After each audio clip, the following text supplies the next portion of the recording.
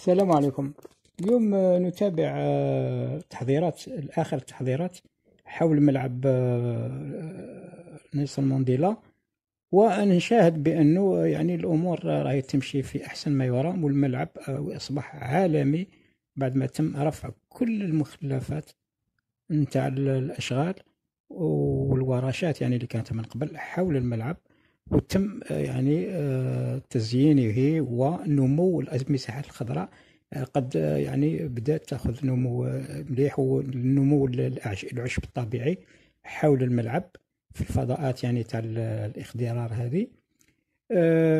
للعلم أنه تقرر إجراء مقابلة ودية يوم السبت المقبل هذا يعني في خلال يومين أو ثلاثة في هذا الملعب بالذات المقابلة ضد منتخب غانا منتخب ودية مقابلة ودية اللي كان من المفروض آه، تلعب في وهران. اذا تم نقلها إلى ملعب آه، براقي وسوف نشاهد المقابلة. اذا من ملعب براقي يوم السبت المقبل في خلال يعني آه، يومين أو ثلاث أيام من نهار يوم. اذا نترككم في رعاية الله وحفظه والسلام عليكم.